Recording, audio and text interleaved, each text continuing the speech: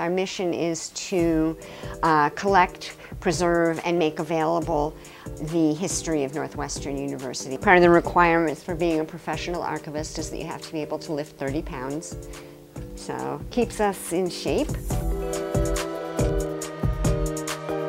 I have been working here approximately 37 years. One of the jobs we have here is to disabuse people of false notions of, of history. We want to reflect um, just the, the reality of life so people in, in the future can come to us and have a better appreciation of what you and I are doing and what our lives were like.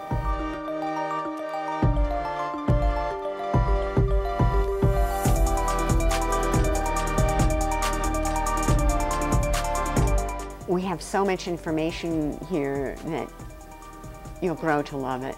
You'll even grow to be able to read 18th century handwriting or use microfilm. We collect a lot of alumni papers.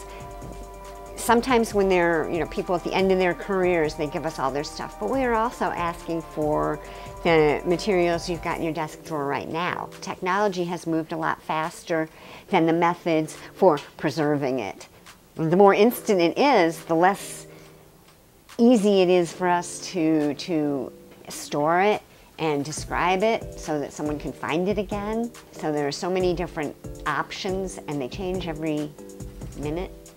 So each time you think you've got a way of displaying um, photographs, you find, oh, there's a new way. Uh, you never know what's going to be the next, next question, whether you can answer it or not.